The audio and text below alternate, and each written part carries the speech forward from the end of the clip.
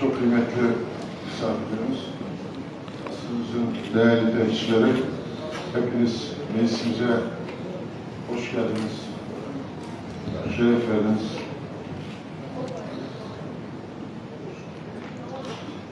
Kıymetli meclisçilerimiz, Sultan Gazi Belediye'mizin 3. seçim dönemi 13. toplantı yeri Haziran olan toplantıların 06 Haziran 2022 Pazartesi tarihli birinci birleşimini açıyorum.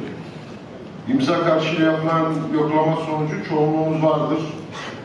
Mazereti nedeniyle toplantıya katılamayan meclis üyelerimizin izinli sayılmalarını oylarınıza sunuyorum. Kabul edenler, etmeyenler oy birliğiyle kabul edilmiştir. Değerli meclis üyelerimiz, öncelikle geçen birleşime ait tutanak özetini okutuyor. Buyurun Hakem Bey. 12 Mayıs 2022 tarihli belediye meclis toplantısı tutanak özeti. Sultan Gazi Belediye Meclisi Mayıs olan toplantının ikinci birleşimi için Meclis 1. Başkan Vekili İmdat Kamacı Başkanlığı'nda meclis salonunda 12.05.2022 Perşembe günü saat 11.00'da toplandı. Ad okunarak ve imza karşı yapılan yoklama sonucu çoğunluğun bulunduğu tespit edildi ve birleşim açıldı. Mazeretleri nedeniyle toplantıya katılamayanlar oy birliği izinli sayıldılar. Önceki meclis oturumuna ait özeti okundu, oya sunuldu ve oy birliğiyle kabul edildi. Gündem maddenin okunmuş sayılması oy birliğiyle kabul edildi. Gündeme geçildi. Gündemde bulunan 10 adet rapor yapılan müzakerelerden sonra oylanarak rapor karar olarak kabul edildi. Meclis 1. Başkan Vekili İmdat Tamıcı mevcut gündemin tamamlandığını meclise bildirdi. 06.06.2022 Pazartesi günü saat 11.00'da toplanmak üzere birleşimi kapattı. Evet, teşekkür ederim. Kıymetli meclislerimiz, öncelikle AK Parti Grup Başkan Vekilimiz Kemal Eyüboğlu Bey'in amcasının oğlu geçen günlerde Hakk'ın rahmetine kavuşmuştur. Allah'tan rahmet diliyorum. Başsağlığı diliyorum. Bütün geçmişlerimize ve aziz şehitlerimiz adına sizlerden Allah rızası için bir Fatiha okuyalım. Buyurun.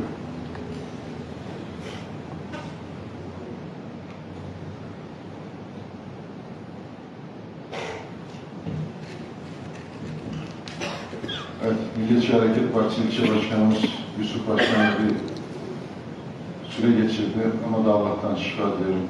İyileşmiş inşallah geldiniz. Kıymetli meclislerimiz, gündeme geçmeden önce sözlü yazılı söz talepinde bulunan meclis üyelerimiz var Bey.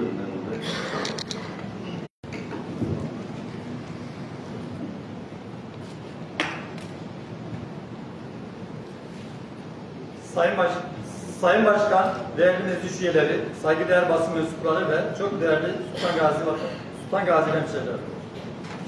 Cumhuriyet Halk Partisi grubu adına söz almış bulunmaktayım.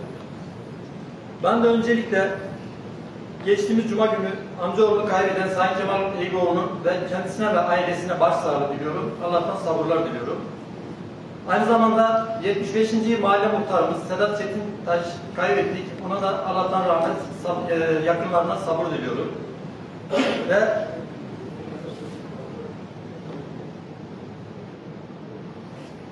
Gezi direnişi demokrasi tarihimizin özgürlüğü haykıran gençlerin sesidir. Dayanışmaya, barışa, kardeşliğe ve demokrasiye adanmış milletimizin ha- hareketidir. Gezi direnişi eşit, adalet, özgürlük ve demokrasi bir yaşam mücadelesidir. Yitirdiklerimize sözümüz var. Bu güzel, bu güzel memlekete demo- gerçek demokrasiyi getireceğiz. Gezi olaylarının 9 yıl dönüm, 9. yıl dönümünde yitirdiklerimizi özlemle ve saygıyla anıyorum. Haziran. Haziran'da ölmek zordur. Haziran büyük e, şairlerimizi, büyük ozan, halk ozanlarımızı kaybettiğimiz, birçoğunu kaybettiğimiz önemli aylardan biridir.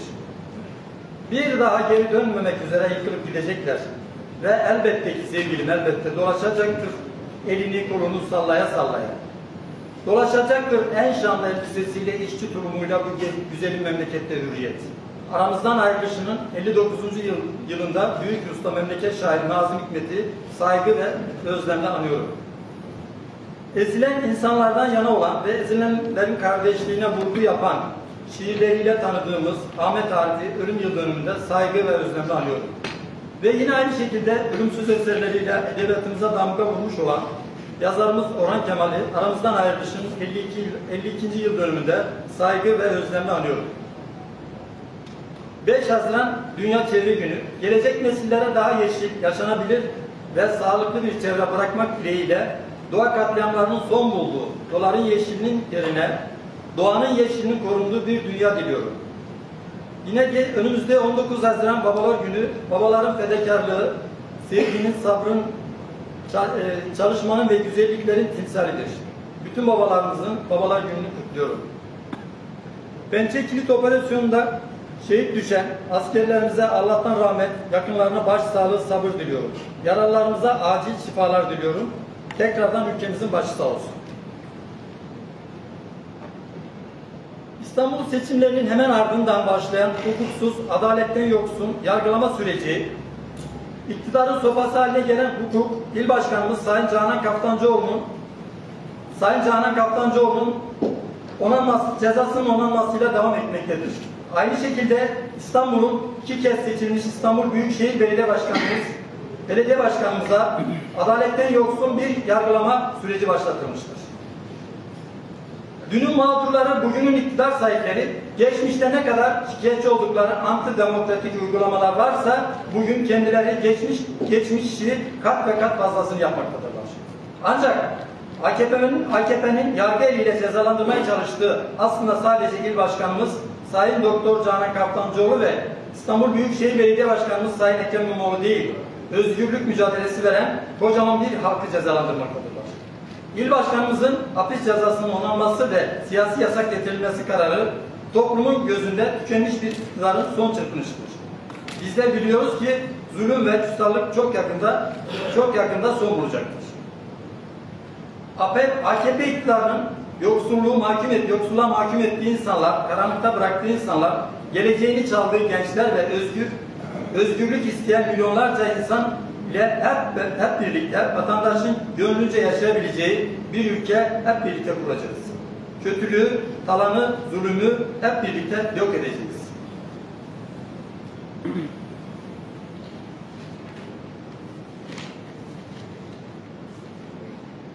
Sayın Başkan bir de önergem olacak. Sayın Başkan, değerli meclis.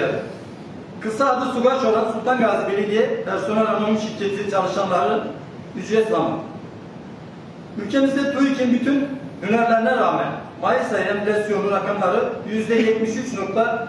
%73.5 olarak çıkmıştır. Bağımsız kuruluşlara göre ise %160.67 olarak belirlenmiştir.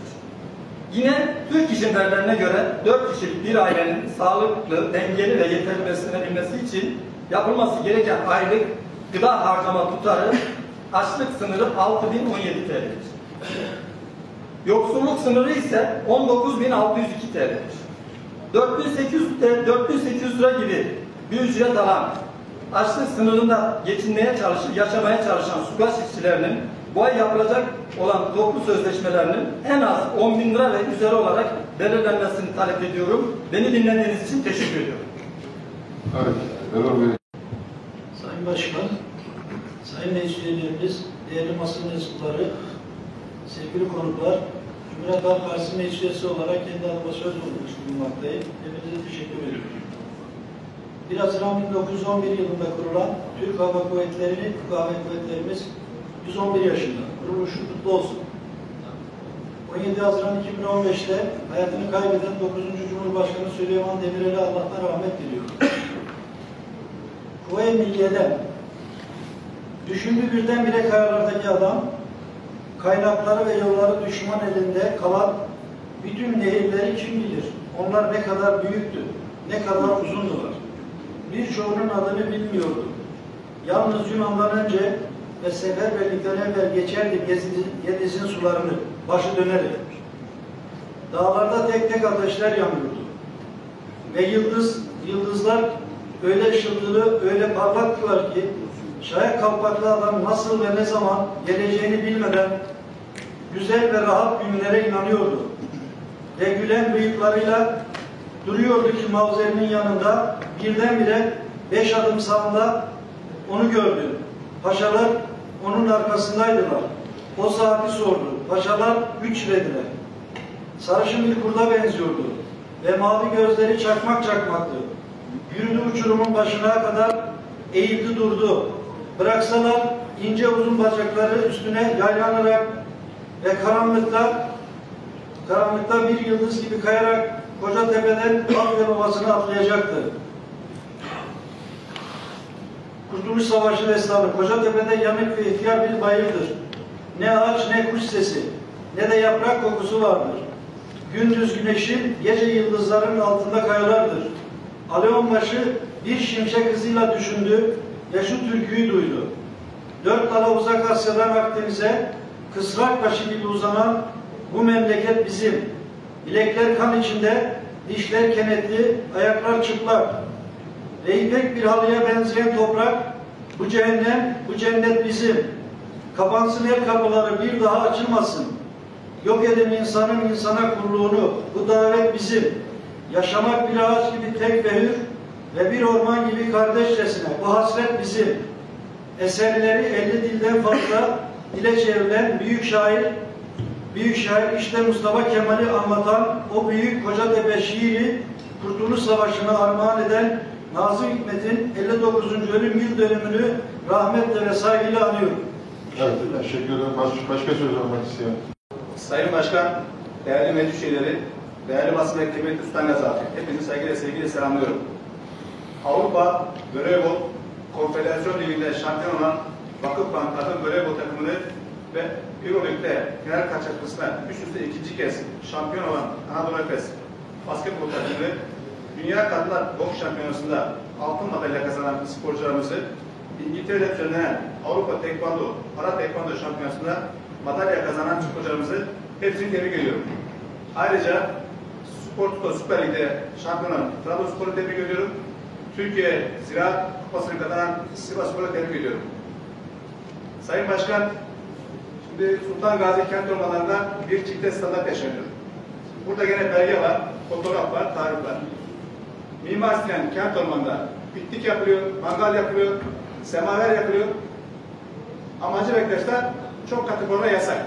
Burada fotoğrafı var. İsteyene atarım. Bu çifte standart lütfen son verin. Teşekkür ederim. Tamam. Evet.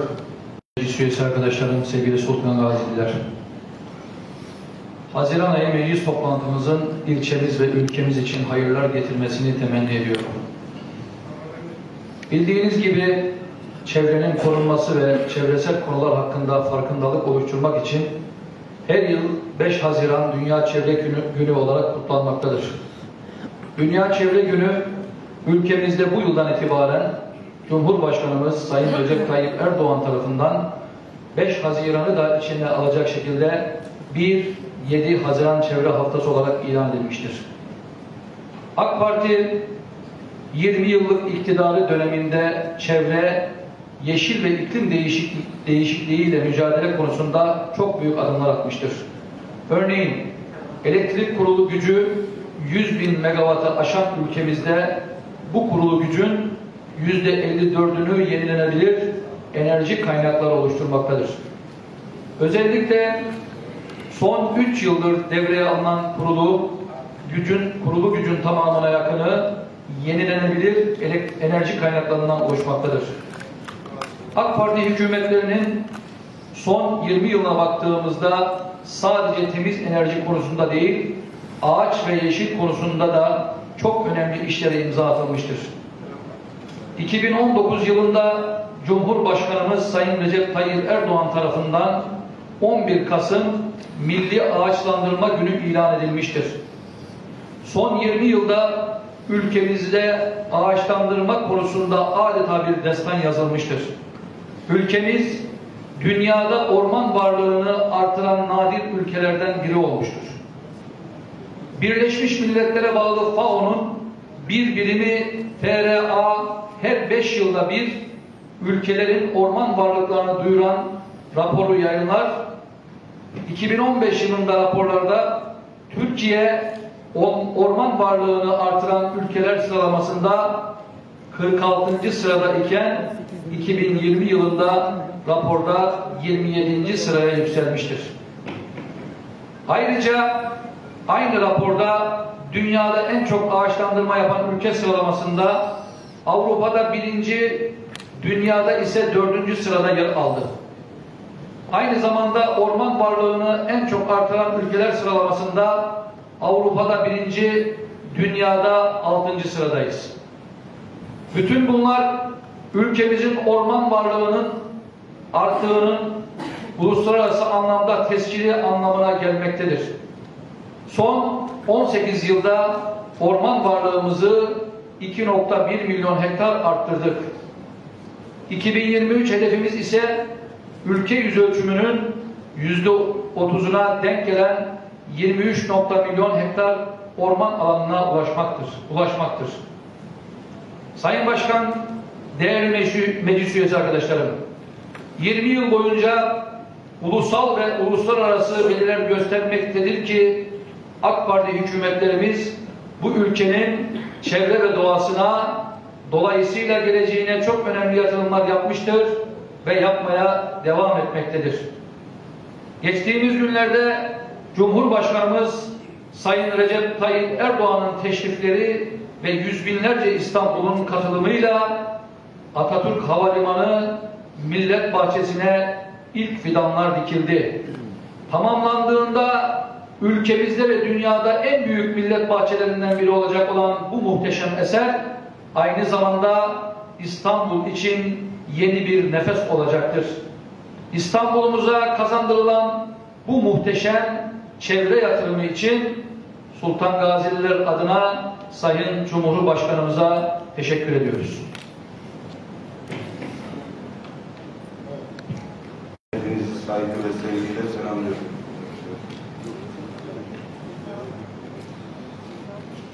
...5 Haziran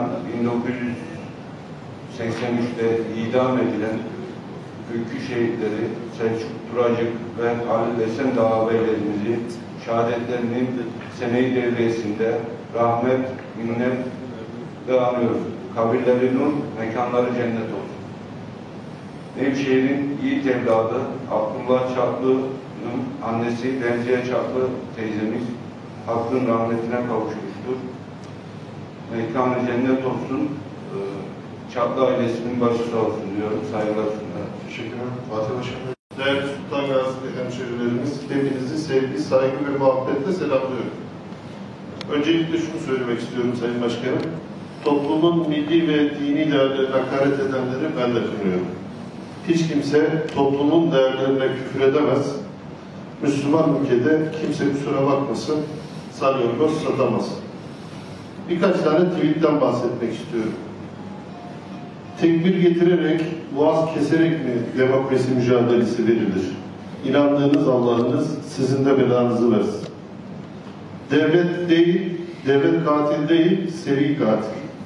Tarihte bugün Ermeni soykırımı başladı. Katledilen Ermeni vatandaşlarımızı anıyoruz. 1915'te, 1915'te Taksim'de. Başörtüsü serbestisi diye bir şey olamaz. Sonra uyum bozanlık yapmayın değil mi? Biliyorsunuz Kurban Bayramımız da yaklaşıyor. Toplumun milli ve dini değerlerine hakaret etmek artık bir moda haline gelmişti. Ben de bu kişilere verilen çok cüzi cezaları kınıyorum. Bunlar toplumun yapısını bozmaya çalışan şer odaklarının tweetleri ve bunları en ağır bir şekilde cezalandırılması gerektiğine inanıyorum. Saygılarımla. Teşekkür ederim. Efendim Sultan Gaziler, sizleri saygıyla selamlıyorum. Toplantımızın hayırlara vesile olmasını diliyorum. Değerli arkadaşlar, Cuma günü kaybetmiş olduğum amcamın oğlum cenazesine katılan, sosyal medya üzerinden tavsiye dileyen ve bilhassa arayan tüm arkadaşlarıma teşekkür ediyorum. Hepsinden Allah razı olsun. Yine 75. yıl mahalle muhtarımız Nevzat Bey, dostumuz, arkadaşımız, mahallesine uzun yıllar emek vermiş, hizmet vermiş bir arkadaşımız kaybetme üzüntüsü içerisinde kaldı. Kendisine başsağlığı, ailesine sabır. Se özür dilerim. Sedat Muhtar'dan bahsediyorum. Nevzat abi gündeme gelince benim de aklıma öyle geldi. Çünkü uzun yıllar dostluğumuz olan birisi ismini de yanlış ifade etmemiz çok ayıp oldu ama Sedat Muhtarımız gerçekten hepimizin değerlisiydi kendisi. kendisine Allah'tan rahmet diliyoruz. Yakınlarına da başsağlığı diliyoruz. Değerli arkadaşlar, eee, ben bugün meclisin güzel bozmak istemiyorum. Aynı ihtişamla devam etmek istiyorum. Asgari ücret artışının yapılmış olması önerge e, söylemişti. Erol kardeşim de önergeden bahsetmişti. Sözlerine niyesi Evet, e, asgari ücretle birlikte artışı sağlanıp ve iyileştirme, maaşlarda iyileştirme yapmayı ve sürdürdük. Arkadaşlarımızı, çalışanlarımızı korumaya çalıştık ama sendika sözleşmesi sanırım Yılmaz Başkan daha hakim, belki de bir açıklama yapmak ister. E, önümüzdeki ay sendika sözleşmesiyle birlikte fiyat, e, almış olduğu maaşlardaki düzenlemenin e, inanıyorum ki onlar da memnun edeceğini düşünüyoruz biz de. Yine e, mangal yakmayla alakalı bir e, soru geldi. Evet yasak. Her iki ormanımızda da mangal yakmak yasak. Fakat bazen insanlar yasakları dinlemeyip mangalı yakmaya çalışıyorlar. Güvenliklerimiz uyarmasına rağmen söndürmüyorlar. Ama orada güvenlikler yaka paçaları dışarı atmayı da Sultan Gazi Belediyesi'ne ve kişiliklerine yakıştırmadığı için bir şekilde yapıyorlar. Ama onlar takibe alınıp bir, gel, bir sonraki geldiklerinde ya içeri alınıyor ya da daha sert bir davranışla e, cevap veriliyor diye. Kendisi haklı olabilir. Yani fotoğraf var dediği için söylüyorum. Biz de şahit olduk. Dinlemiyor adam. Bir şekilde kabadayılık yapıyor orada. Ee, diğer misafirlerimizin huzurunu bozmamak adına güvenlikler de belli bir göz e, şeyde taviz vermek zorunda kalıyorlar. Yani bu tamamen kişilerin yasalara uyup uymayacağıyla alakalı bir sorun. Biz de bir sonrakinde uyacaklarını temenni ediyoruz. Ben de toplantımızın hayırlara vesile olmasını diliyorum. Saygılar. Ben çok teşekkür ederim. Değerli meclis arkadaşlarım, bu ay itibariyle nasip olursa bir toplu sözleşmemiz var. Üzerinde çalışıyoruz. İnşallah Sultan Gazi'mize hizmet eden personelimize güzel bir zam yaparak inşallah, hedefimiz o inşallah. Ee, bir e, şey üzerinde çalışıyor ve bir zam yapacağız inşallah.